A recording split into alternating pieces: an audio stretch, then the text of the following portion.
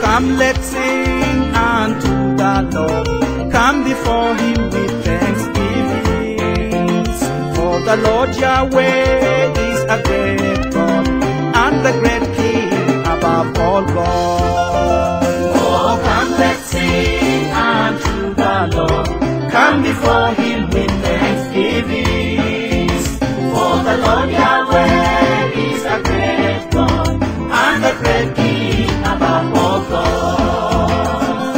come, let's sing. to bring you to an expected end. And I told you that God said that when you transitioning through difficulties, that is momentarily. That you are passing through to the plan God has proposed for you. Praise the Lord. So I want you to let God's word resonate in your spirit. Because that's what is going to take you go beyond your expectation. So the Lord is saying this morning that I want He wants to share with you what hinders your victory. Victory hindrances. The theme of the message, victory hindrances. Do you know that some weeks ago I taught you about opening the gates?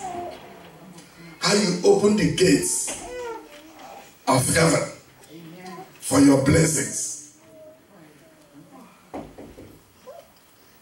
And the Lord is saying that some people opens the gate and after a while they will shut it. How many of you have a bunch of keys? When you have a bunch of keys and you don't know which key opens which door, you are in trouble. If your enemy is pursuing you and you run to your house and you don't know the key that opens your house, you'll be there looking for the key, the enemy will come and capture you. That's why a lot of people suffer long in a situation without experiencing God's deliverance. You said, I've been praying, I've been trusting the Lord because you don't know the key that opens the door of your blessings. The Word of God is here for us. These are the keys. But I will only zero in on the major key, the master key. I'm going to zero in on the master key this morning. And that master key deals with unforgiveness. That's the master key that can lock you up and lock you down. I want to take you step by step for you to understand. Matthew 5:24 said, if I want you to flash it, Matthew 5:24. Flash it, let me tell you what how it's important. Jesus said, leave if you have problem with your brother or your sister or someone and you brought your gift to give he said leave it at the altar. Don't give it yet because i'm not going to accept it. Leave there the gift before the altar and go thy way. First be reconciled to who? And then come and offer what? So that god can do what? Because when god accepts it your gate opens hallelujah when God accepts your gift, your gift does what? Open. So that is to show you that God, who can wait for an offering? A man told God, wait, let me go and get my offering. And God waited. That shows that offering is important to God. That's why he waited. And then he said, before you give your offering, and you remember you are not at peace with someone. Say, keep it. Even though I'm waiting for it, go and make that peace and come back and give your offering.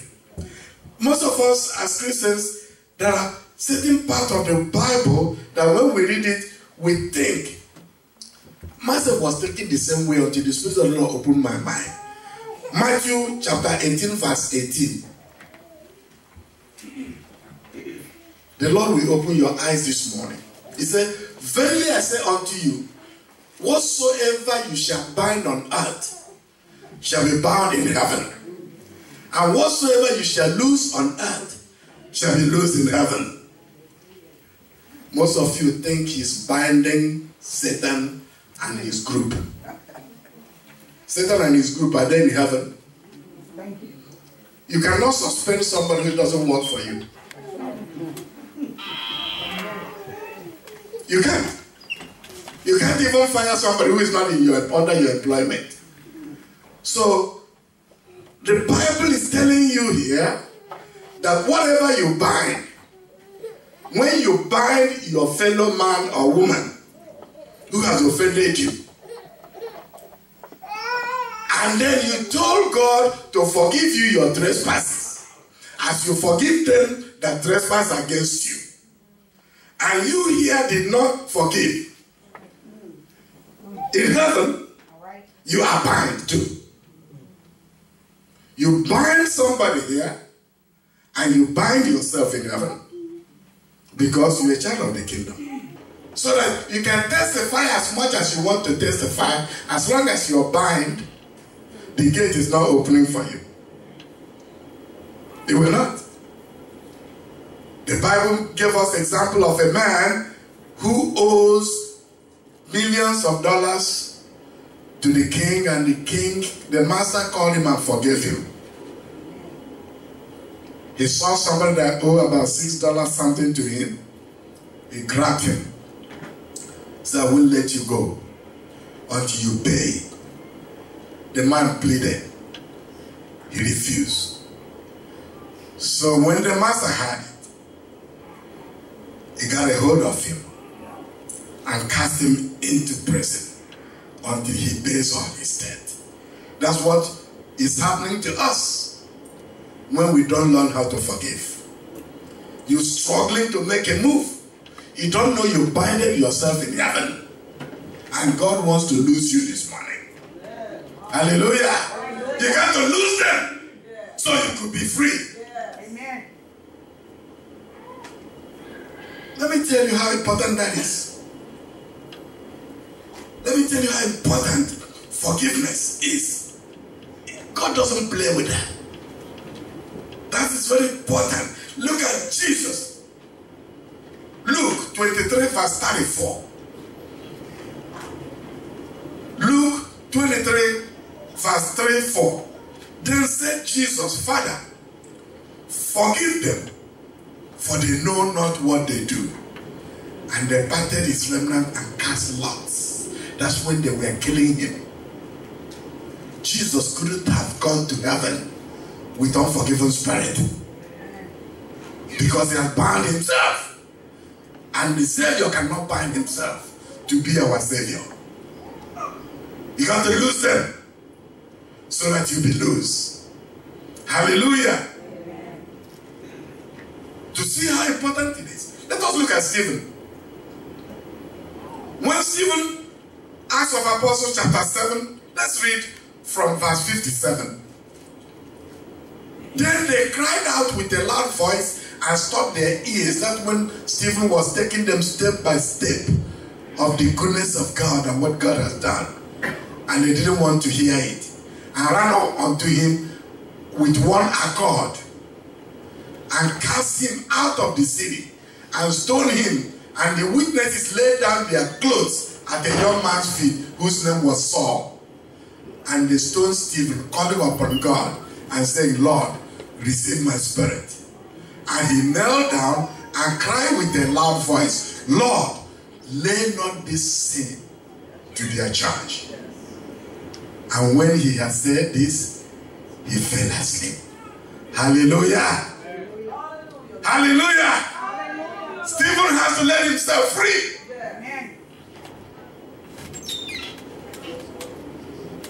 You and I today will be there cursing and binding. All this stone you are throwing at me, I bind you in Jesus' name. I'm not gonna forgive you. I can't take this. And when you're doing that, you lock up your gate. So that's why every move you make, you're not see any victory. The testimony God wants you to testify, you can testify as much as you want to, as long as you binded yourself over there. Your gate is shut until when you open that gate by letting go. Do you know that the Bible made it clear that vengeance doesn't belong to you? It doesn't belong to me. Then why we are we trying to hold vengeance by unforgiveness? I don't care how little that is. You cannot hold it. If you hold it, you bound yourself in heaven. You're not gonna get anywhere with God. Because if his son Jesus Christ, who knew no sin, could come down here and be disgraced and killed, stoned, done everything because of you, because of me, for the debt we could not pay, that we might be free. And you said, I can't forgive this little one who insulted me. Who insulted me? Who lied against me? Who gossiped against me? Who took what I didn't give to them? Hmm. I will not let go. And when you do that, you binded yourself in heaven. Because you're binding something here on earth. The Bible said that those things you bind on earth will be what? That's right. That's why you can pray as much as you want to. You can testify as much as you want to. It's not getting beyond the roof. Because something is bind, is bind. Something that is loose is does what? How many of you are ready to lose it this morning? Hallelujah. How many are ready to lose it this morning? Because when you lose it, you'll be free. Those who are in Christ Jesus are free, and they are free indeed. Jesus himself, at the point of death, said, Father, don't hold this against them. Hallelujah. How many of you have been treated to the point of death that you should be holding something somebody did to you? You got to let go so that you'll be free. So that the testimony of the Lord will manifest in your life. So that you can move forward and obtain God's favor. Jesus taught us how to pray. Let's go back to Matthew chapter 6, where we took our Bible lesson. After this manner, therefore, pray ye, our Father which art in heaven. I'm reading from verse 9. Hallowed be thy name. Thy kingdom come, thy will be done on earth as it is in what? Give us this day our daily bread. Verse 12 is very important. And forgive us our debts as we did what? How wonderful. That is signing the mortgage. If you pay, you get your title. Hallelujah. So, as you forgive, that is the payment. And the title is God has forgiven you too. So, if you say, I'm not going to pay, and you want to get a title, the bank will give it to you. And God either. You can have to let go. I don't care how hurtful the action is. I don't care. The enemy will be singing that as a song in your heart so that you don't forgive. So that you could so that you could be still bound in heaven. You'll be singing it. Anytime he sang it, you remember it, you get angry. Devil will be laughing. Yeah. Holding him, and I'm holding you over there. Remember, the devil knows the word more than you do. He was from there. He knows the things, the desires, the things God require. Because God is God of covenant. God is God of covenant. He said, as we forgive them, and lead us, next verse lead us not into what? In temptation of unforgiveness. Hallelujah. He said, lead us not into the temptation of what? Unforgiveness.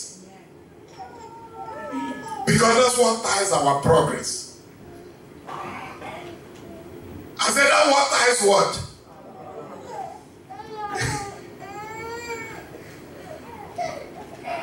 Lead us not into temptation. You were just asking for forgiveness and you you agreed that you will forgive as God has forgiven. And then the next one, Jesus said, Pray that lead us not into temptation so that I don't bind myself when I'm trying to bind somebody here on earth. Do you know that the temptation of anger, unforgiveness is a big one?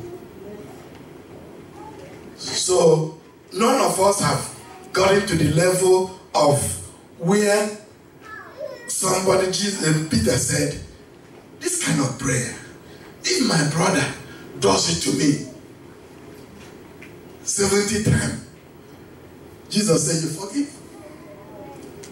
I didn't know that this is for one day. oh.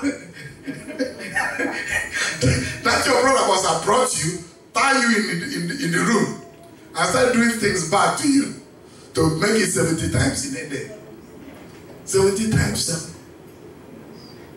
But that tells you there's no amount of offense anybody should do to you that you should hold it without unforgiveness.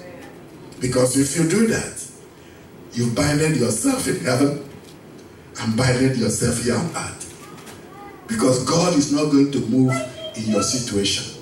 I don't care how much you pray. I don't care how much you prophesy. I don't care anything you're going to do. You cannot move God's hands.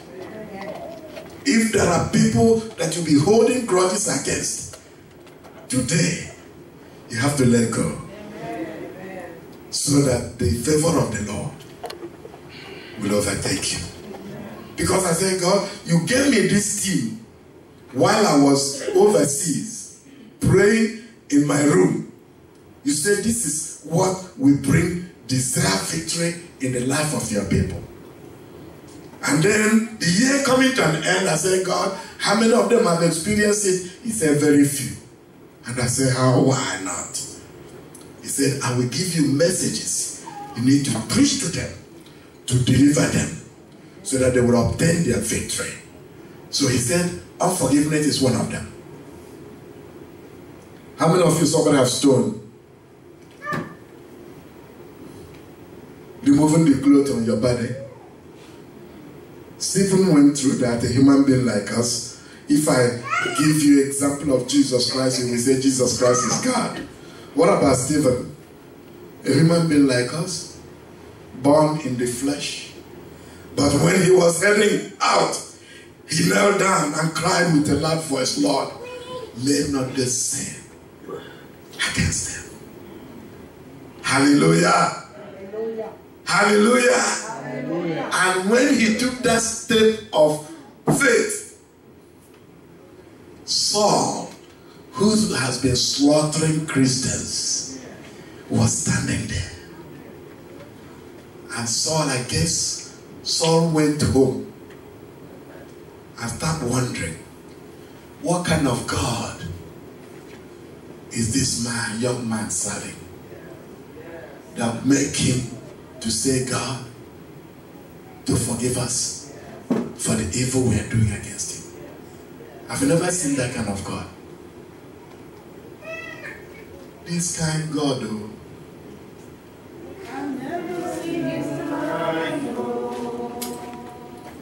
This kind God, oh, blessed be his holy name. Paul said, which kind God? Is it this one I'm going around to defend because they were not following the laws of Moses? And this one, we were killing him for not doing that. And he's asking for God to forgive us. That God must be different God. I would like to know that one. Your act of forgiveness will bring souls to the kingdom of God. Amen. So many people you've binded are not coming to God because you bind them here. And heaven doesn't have open to accept them. To let them go so that heaven can accept them. Because the Bible, God, God of covenant doesn't change. He said that whatever you bind here is bound in heaven. And when you bind those unbelievers here by not forgiving them, that door is closed over there. So this morning, God said, Your testimony that will bring victory has to come from forgiving whoever that might have offended you. You have to lay it on the cross. That's why Jesus came and died, that we might have life and have it abundantly. The abundant life of Christ is for you, is for me. Why should we hold anger when we know that somebody already paid for that? Matthew 16, verse 19 said, And I will give unto thee the keys of the kingdom of heaven, and whatsoever thou shalt bind on earth. Hallelujah. So when you bind a soul here on earth, God pick up that key, the, the, duplicate key. You have the duplicate, God has the master. he lock. Because you made a promise that if God forgive you, you will forgive and you refuse to forgive. And you love the person, and God said, Well, until you let go, you will not receive yours. So this morning, I'm not going to preach long. I just want to nail it so that you can think about it and think about your freedom and think about God's favor. I don't care what anybody did to you. Even, even if they sent you to bankruptcy, if they stole everything that belongs to you, they assaulted you and they beat you up, forgiveness is on the cross. Amen. Amen. Oh, come, let's sing unto the Lord. Come before him with thanksgivings. For the Lord Yahweh is a great God. Oh, come, let's sing unto the Lord. Come before Him with thanksgivings. For the Lord Yahweh is a great God and a great King.